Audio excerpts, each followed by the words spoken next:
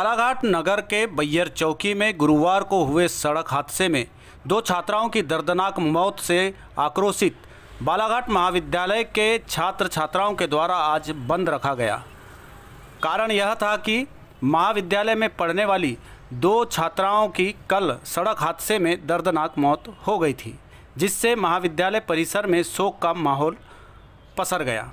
वहीं प्रशासन के प्रति महाविद्यालय के छात्र छात्राओं में आक्रोश व्याप्त है, जिसके चलते आज अतिरिक्त पुलिस अधीक्षक को ज्ञापन सौंप कर महाविद्यालय के छात्र छात्राओं ने मांग की कि मृतक के परिवारों को उचित मुआवजा दिया जाए और आरोपी पर कड़ी से कड़ी कार्रवाई की जाए।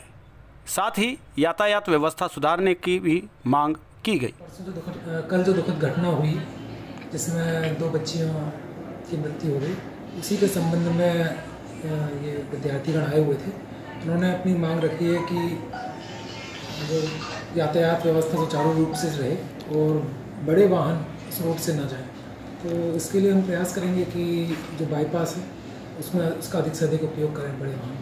और इसकी जो टाइमिंग है, उसका भी थोड़ा सा विश्लेषण करेंगे। इस समय जो किया गया, वो इसलिए किया गया कि जाम की स्थिति ना बने और अभी हम इसमें अल्टरनेट रूट के लिए प्रयास करेंगे। ठीक।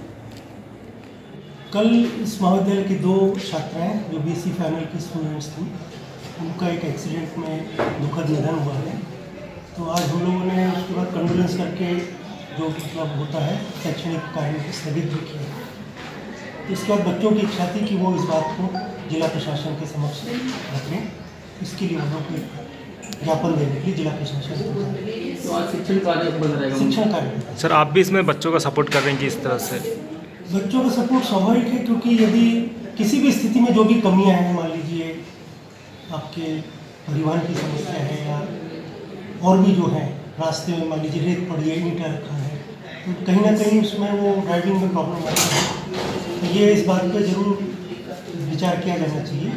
कि एक सुचारू व्यवस्था रहे जिससे इस प्रकार की दुर्घटनाएँ भविष्य में